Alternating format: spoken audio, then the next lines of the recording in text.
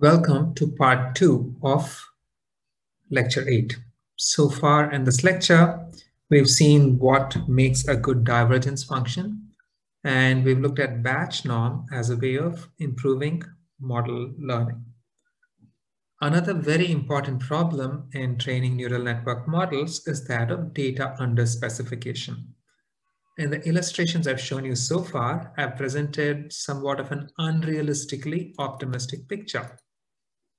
As we recall, we try to learn the entire function from just a few snapshots of the input-output relationships. To do this, we define a divergence between the actual uh, output of the network and the desired output of the network, and then estimate the network parameters to minimize the average divergence over the training instances. But this figure I've shown you isn't exactly how it will turn out. The network may just end up learning to predict the outputs at exactly the training inputs and be arbitrary elsewhere. So we may end up learning this red curve instead of the dashed line blue curve, which is the actual function that we want to learn, given only these training instances shown by these vertical red bars. And even this figure is wrong the actual number of training instances will not be anything like what we have shown here. It will be far fewer. To get an idea of how few data we actually have, consider this example. Say we have a 100 dimensional input, which is actually fairly small. Your typical image, for instance, will have thousands or even millions of pixels. So this is a tiny input. Assume your inputs are binary. So uh, like a 10 cross 10 image where every pixel is either 0 or 1. So these this represents data in a 100 dimensional uh, binary space. And since there are 100 dimensions, there are 2 raised to 100, which is about 10 raised to 30 possible inputs. And all of these inputs will reside on the corners of a 100 dimensional hypercube in order to fully specify the function, we will have to specify the output values at each of these corners, at each of these 10 raised to 30 corners. Otherwise, the network cannot learn the function properly. Now imagine that we have 10 raised to 15 training instances. That's about 1,000 trillion training instances. This is totally unrealistic.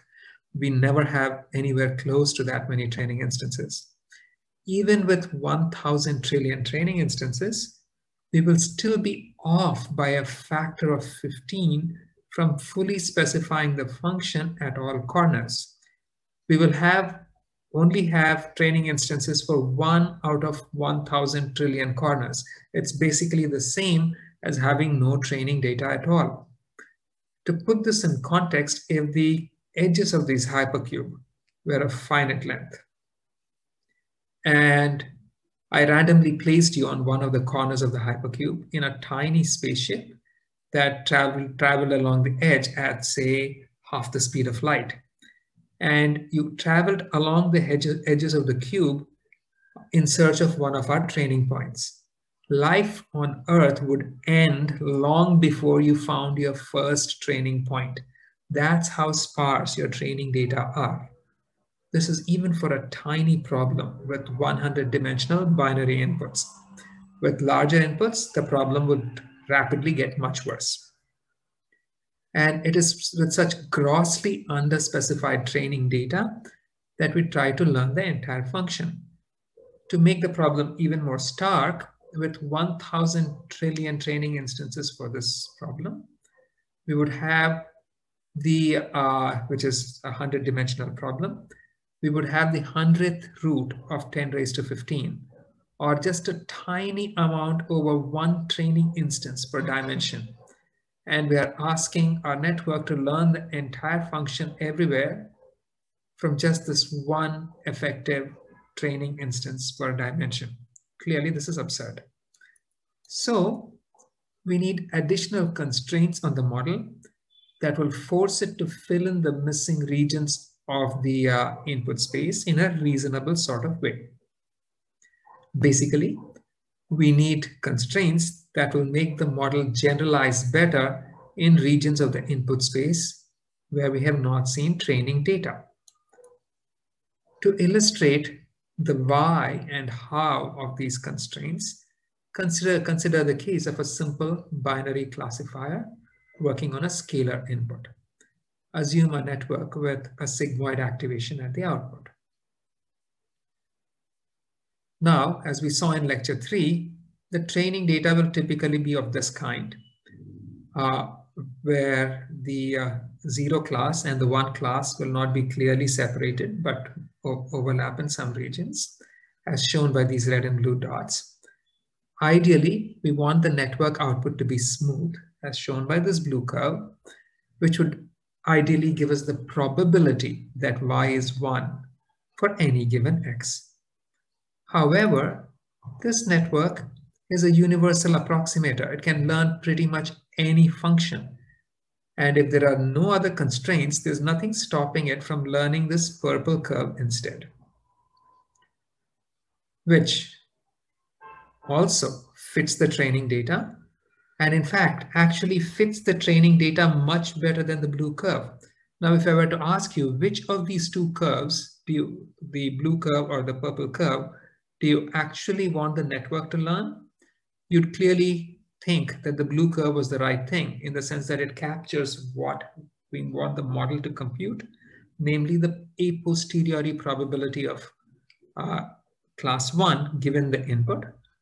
But there's, you know, just simply training this network does uh, has uh, does not prevent it from learning this uh, purple curve instead because the loss function that we are trying to minimize simply tries to maximize the fit at these training instances.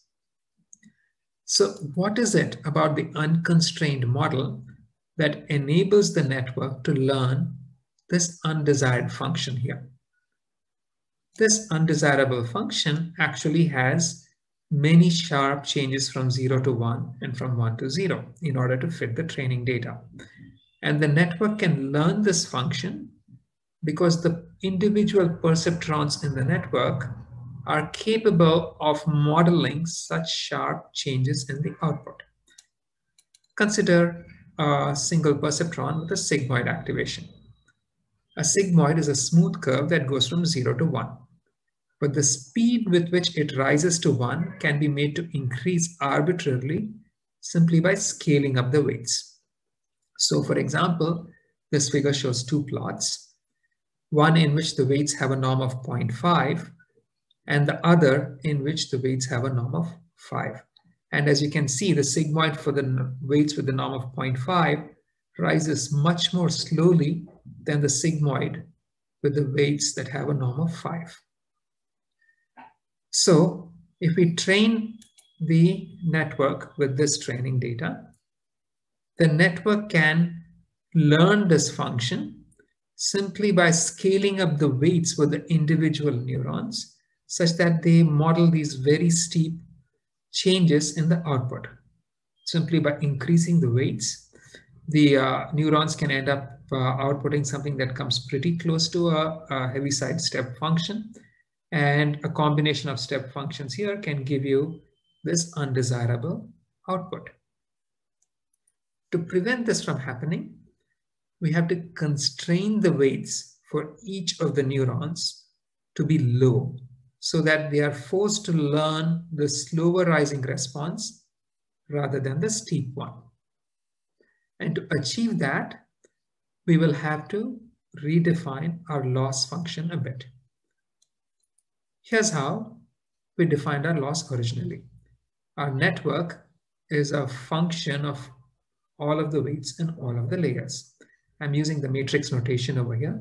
So each weight, each W here is the matrix of weights for one layer. The divergence between the actual and the desired outputs of the network is a function of all the network parameters. I've shown them here explicitly to show the dependence. The loss is the average divergence over the training set. And in conventional training, we try to find the weights that minimizes this loss. when we want to additionally also impose the requirement that the learned weights must be small, we will add an additional second term to the loss, what is called a weight regularization. This is the sum of the squares of the weights in the network. We've uh, represented this as a Frobenius norm over here. Uh, this representation, WKF squared, is simply the sum of the squares of all of the entries in the matrix WK. And so this term here is the sum of the squares of all of the weights to all of the neurons in the kth kth layer, this one. And this overall term is the sum of the squares of all of the weights in the network.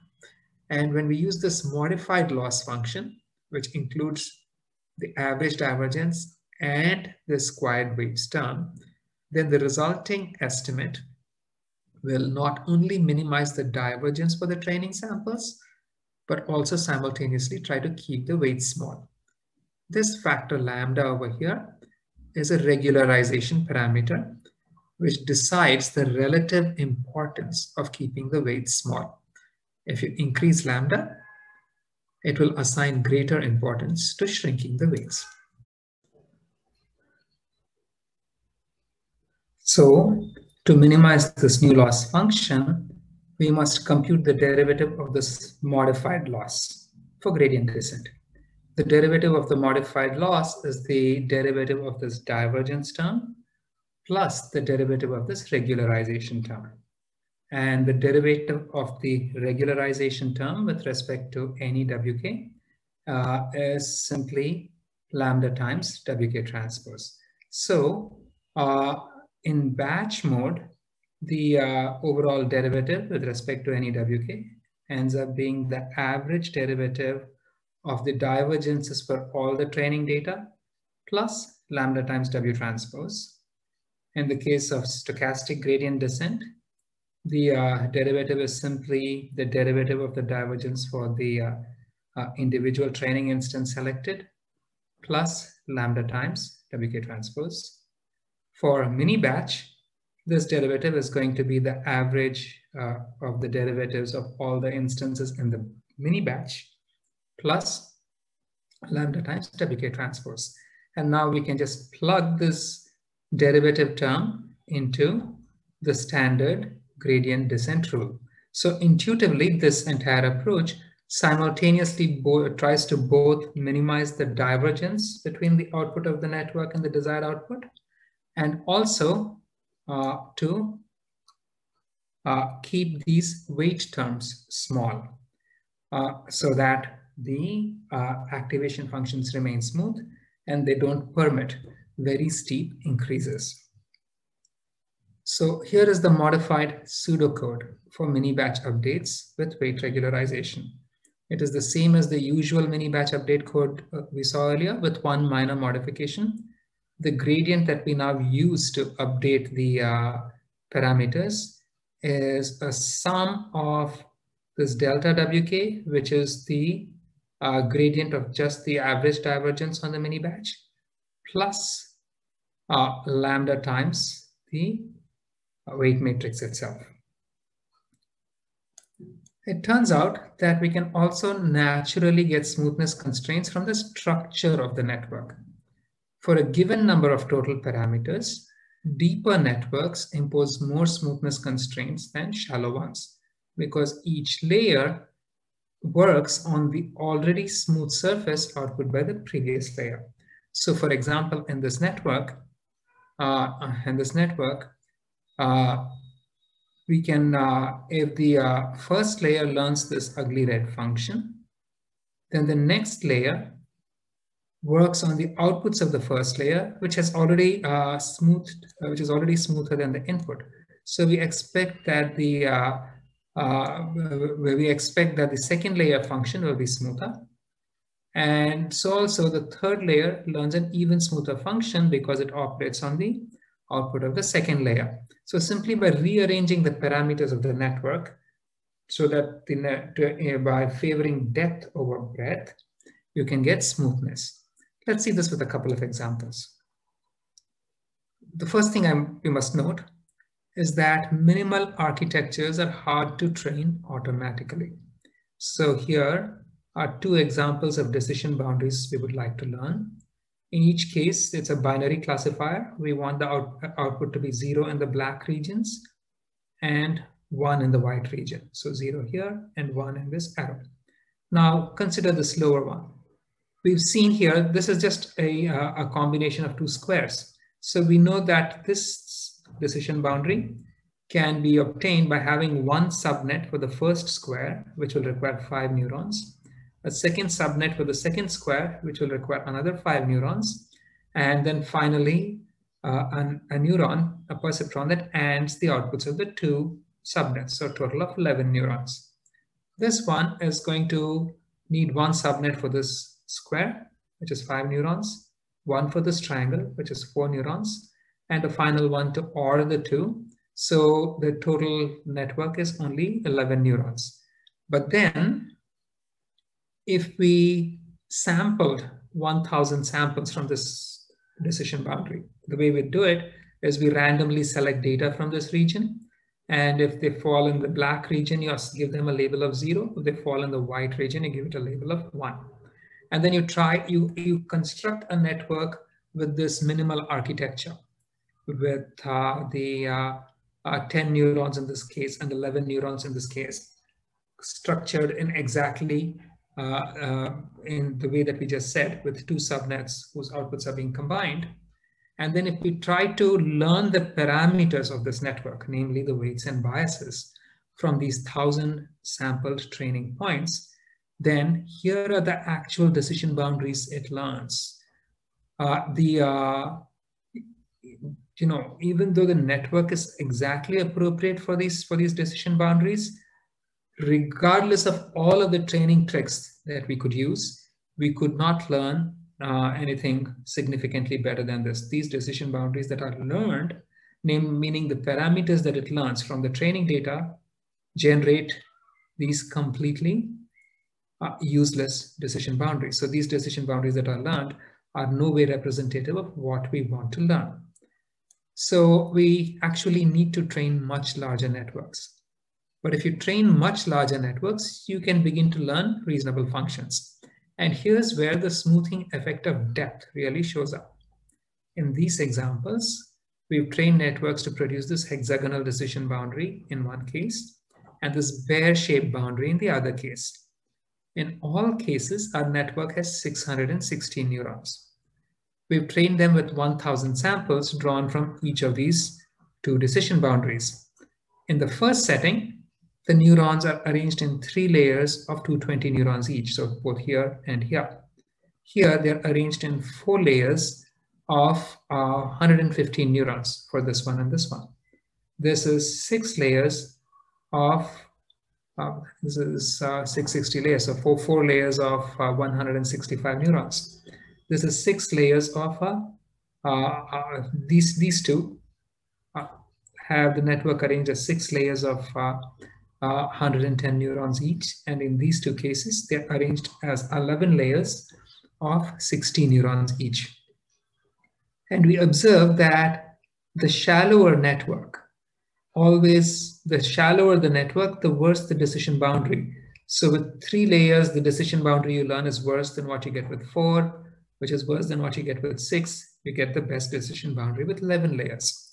And so as you can see, depth implicitly imposes smoothness constraints. Now here, we are speaking of, uh, uh, of neurons rather than weights, but then uh, to it's easy for easy enough for you to compute that this one, this, this network actually has fewer neurons, uh, fewer weights, fewer parameters than this network. Nevertheless, because it has greater depth, it's able to learn a much cleaner decision boundary. So also this network with 11 layers, each of 16 neurons, has fewer parameters than this one with three layers of uh, uh, three layers of 220 neurons each, and yet it learns a much better decision boundary. So depth imposes smoothness constraints, which really helps. And another way to get you know better uh, training is obviously with uh, more data. So, so this figure to the bottom is when we train the six layer model with 10,000 training instances and it gets the decision decision boundary almost perfectly. So we also get this obvious result. The best way to smooth your model is to simply overwhelm it with data, but that's not a choice you will often have. Most often you're going to work in sparse data uh, situations where the amount of data that you have is, is, is very small compared to the dimensionality of your space. And in that situation, arranging for a fixed parameter budget, arranging those parameters as deeper networks is going to give you uh, smoother functions. And so the story so far, gradient descent can be sped up by incremental updates. Convergence can be improved by, by using smoothed updates.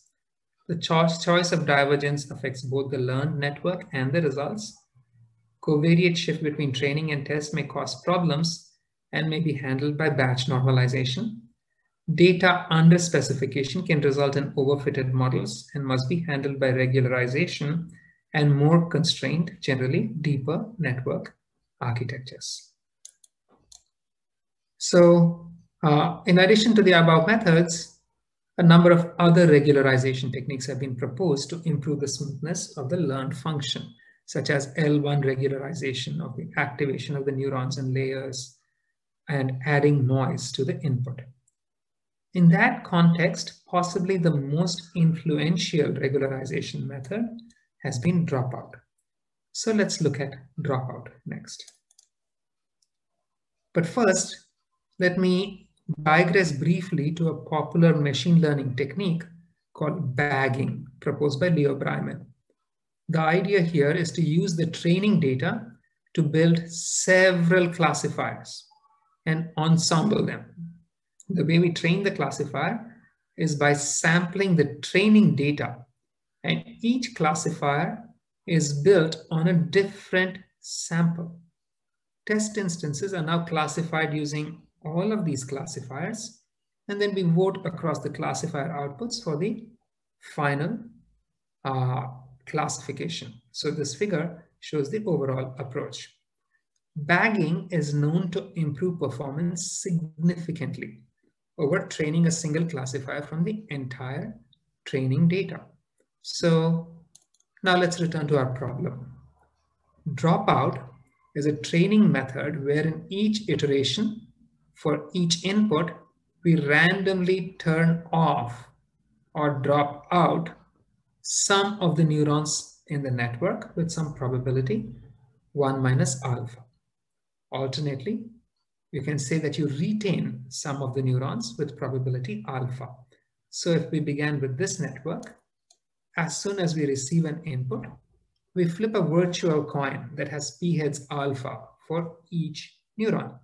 And if the coin turns up a tails, we switch off the neurons, effectively taking, uh, switch off the neuron, effectively taking it out of the computation.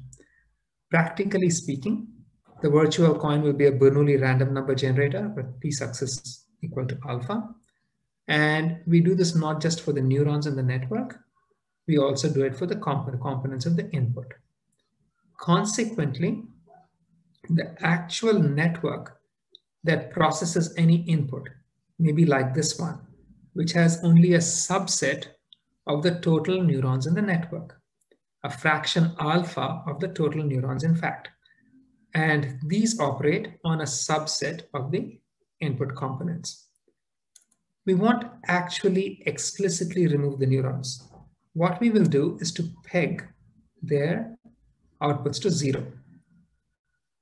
So they no longer contribute anything to the computations. So in this case, all the units in black, including input components, have been switched off by pegging them to zero. The key is that the specific set of units that are switched off will be different for different training inputs we randomly select the inputs and the neurons to switch off afresh for each training input. So here, for instance, uh, the first training input may see this network. The second training input might see this one. And the third network training input might see this one. So each of these inputs effectively sees a different network. In fact, even for the same input, we will have different switch off patterns and different iterations so that the same input will see different effective nets in each iteration. Now for each input, we only, when we perform back propagation, we only compute the derivatives uh, for the weights for edges that connect two neurons that are both switched on. We be, during back propagation, we effectively only work on the reduced network. And the gradients for all the remaining terms are set to zero. And we will update the parameters and the gradients computed, uh, update, update the parameters with the gradients computed in this manner. The, the statistical motivation that's generally offered to justify dropout is that it's some form of bagging.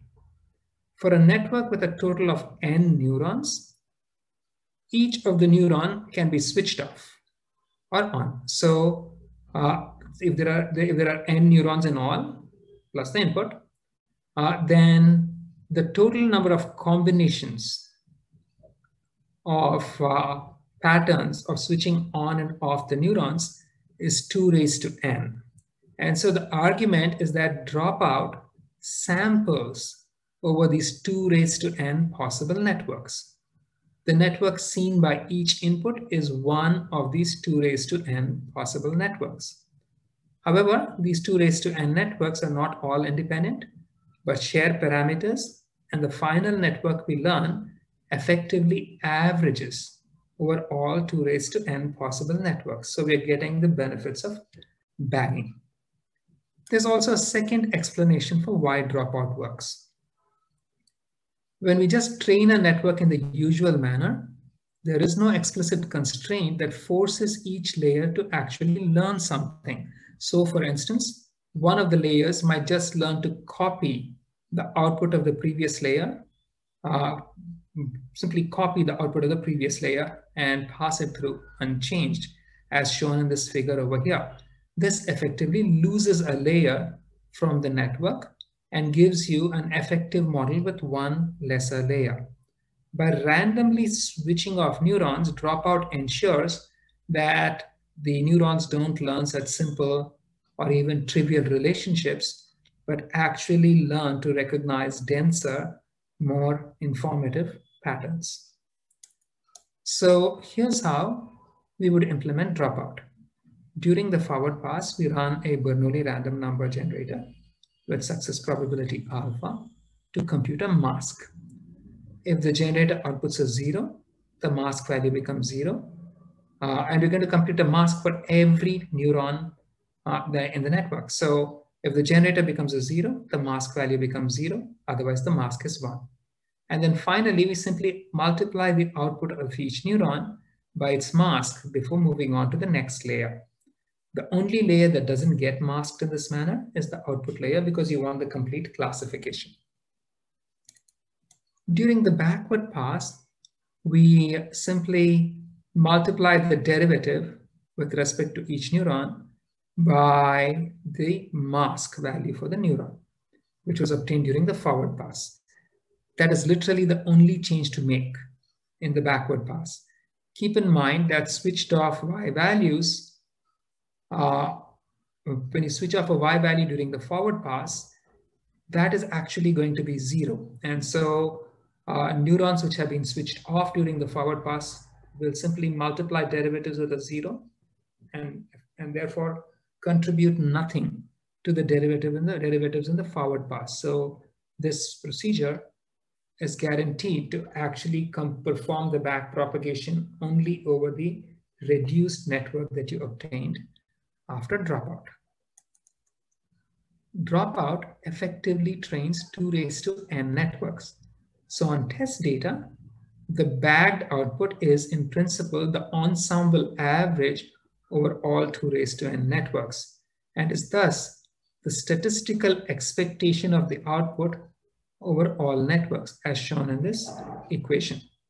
Here, E is the expectation operator and is the expectation over all 2 raised to n networks. Again, to remind you, 2 raised to n comes from the fact that if you have n neurons in your network, and each of them could be either switched on or off, then there are 2 raised to n possible networks that you can compose from this one network by dropout. And so this expectation is over all two, during inference time, what we really want to do is to run the neuron input through all two raised to n networks and average their output. So you basically you want to perform an expectation over all two raised to n outputs. But then uh, this is not going to be feasible because for even small networks, the total number of neurons will be very large. And uh, taking an average over 2 raised to n networks is going to be uh, computationally infeasible or even impossible. So this expectation cannot be computed. Instead, we're going to use this following approximation, where we say that the expectation of a network of activations is the same as the network of the expectation of activations. Now, this is an approximation. This is not mathematically valid. It's, it's not an equality. It is an approximation. We make it for so that uh, this computation can be made tractable. And now the problem of computing expectations simply becomes that of computing the expectations of the outputs of the individual neurons over the entire ensemble of networks. Now, if you look at what happens, so, so then we can just look at the individual neurons and not worry about the larger network. Now, if you look at individual neurons, each neuron actually has this following activation, uh, D times sigma, where D is the Bernoulli variable that decides if the neuron is switched on or off. It has a probability of success alpha. So over the entire ensemble of 2 raised to n networks, the expected output of the neuron is simply going to be alpha times sigma.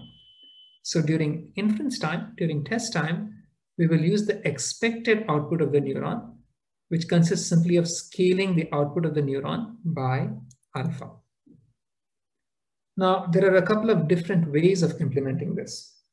The simplest way is to just multiply the output of each neuron by alpha, which is the probability of keeping it on. You do this during inference, not during training, because and you do it only during inference because this is the process of taking the expectation of the output of the neuron over all 2 raised to n, uh, 2 raised to n networks. Alternately, uh, there are a, a, couple of different ways of uh, thinking about this. Uh, if we can, one, one way to do this is to take uh, the output of each neuron and multiply by alpha. Or you can leave the neuron as it is, and the neuron has many outgoing connections. And we can simply multiply the outgoing connections by alpha. So these two operations where you directly multiply the output of the neuron by alpha, or you multiply the weights of the outgoing connections from the neuron by alpha, the two are strictly equivalent. And so what we can do is to simply, after, after having trained the network, we can simply uh, scale all of the weights in the network by alpha. And then during test time, we're just going to be to just use the scaled weights. Alternately, there's another approach during training, we can replace the activity during training, we can replace the activation of all neurons by alpha inverse sigma. This doesn't affect the dropout procedure itself during training. It doesn't, it doesn't affect the, uh, the logic of the back propagation. Uh, and so everything else remains the same. But during inference, during testing, we will use sigma directly as the activation, and we will not modify the weights. So uh, here is the pseudocode for testing with dropout models. It's just the regular forward pass, except the activations are multiplied by alpha. Alternately, you could just have the regular regular uh, uh, pseudocode without even this alpha, but then during training, you would be multiplying every activation by alpha inverse. So here are some typical results comparing models with and without dropout. This is published by Nitish Srivastava in 2013. The x-axis shows training iterations. The y-axis shows classification error on MNIST test data. As you can see, including dropout in the training results in a large reduction of error in this model. So dropout is a really effective technique and they have naturally been proposed a large number of variations on this basic dropout idea. So zone out, which is proposed for RNNs, randomly chooses units to remain unchanged across time transitions. Drop connect drops individual connections between neurons rather than entire neurons. Shakeout scales up the weight of randomly selected uh, edges. And so it fixes the remaining weights to a constant negative value. So the effective weight uh, during inference is going to be the scaled up version plus 1 minus alpha, alpha times the uh, uh, the uh, the scaled up version plus 1 minus alpha times this constant. Uh, restart. They have naturally been proposed a number of variations on the dropout idea. So zone out, which is proposed for RNNs, randomly chooses neurons and keeps them unchanged across time transitions. Drop connect drops individual connections between neurons instead of entire neurons. Shake out scales up the weight of randomly selected weights and it fixes the remaining weights to a negative constant. Whiteout simply adds or multiplies weight dependent Gaussian noise to the signal, to the, to the uh, signal going down each connection. And uh, there have been uh, other variants as well, which basically build on the same simple dropout idea. So here's the story so far. Gradient descent can be sped up by incremental updates. Convergence can be improved using smooth updates. The choice of divergence affects both the learned network and the results. Covariate shift between training and test may cause problems and may be handled by batch norm. Data under specification can result in overfitted models and must be handled by regularization and more constrained network architectures. Dropout is a stochastic data or model erasure method that sometimes forces the network to learn more robust models. Uh, a number of other heuristics have also been are also commonly used to improve the models. Early stopping is one. We track the performance uh, on some held out validation data and stop the training when the uh, performance on this validation data begins to get worse. So this can prevent overfitting to the training data. So here in this figure, we would stop training at about this point. Often the derivative of the loss will be too high. And this happens when the divergence has a steep slope at some point, and it can prevent your learning from converging. So gradient clipping sets a ceiling on derivatives, typically at five. If the derivative exceeds this ceiling, then the derivative is simply pegged to the ceiling. In many problems, we won't have enough training data, so we can augment it with distortions of the data we do have, like rotating, stretching, uh, or, or adding noise to images such that the class of the image doesn't change after this, after this uh, uh, modification. And this new instance can be thought of as an additional training instance. We can do similar things for, for audio and other kinds of data as well, where you transform the data in a manner that, act, that actually retains its class, and this transformed instance and the, and the corresponding class label can be added as a training instance.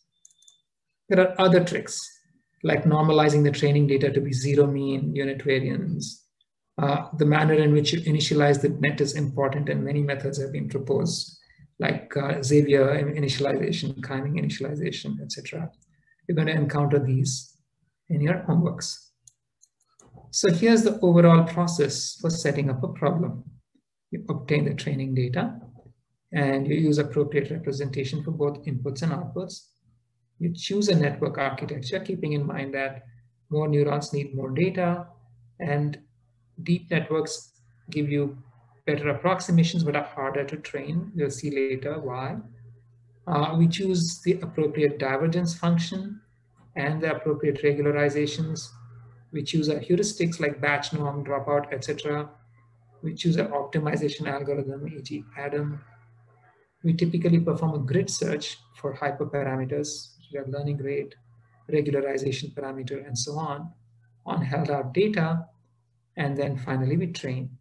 And during training, we evaluate periodically on validation data for early stopping if required.